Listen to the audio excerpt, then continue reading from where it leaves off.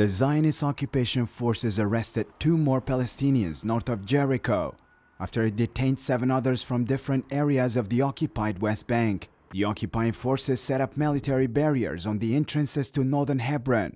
Similarly, the occupation army closed all entries to the city of Jericho. As settlers who are under their protection carry on their attacks on the city for the second day in a row. Palestinian reports said the settlers committed shootings, arson attacks and beat Palestinians with metal rods and rocks.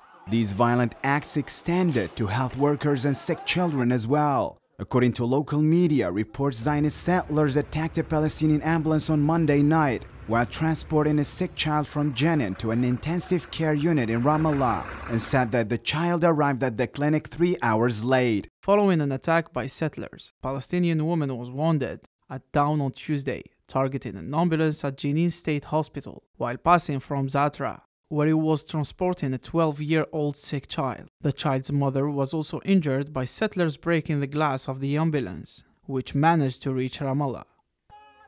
Thousands of Palestinians protested and condemned the massacre committed by the Zionist settlers and soldiers against the Palestinian civilian population in the West Bank, particularly in the town of Hawara and its neighboring villages.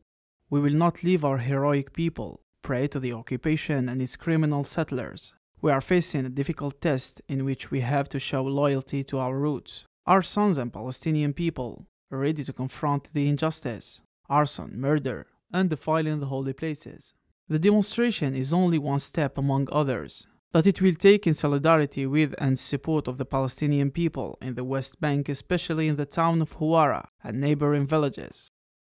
On Sunday night, settlers carried out about 300 attacks in the towns of Huwara, which resulted in the death of a Palestinian and injured nearly 390 others, in addition to the burning and destruction of dozens of homes and cars. The occupation army was aware of the intention of the settlers but did nothing to prevent them.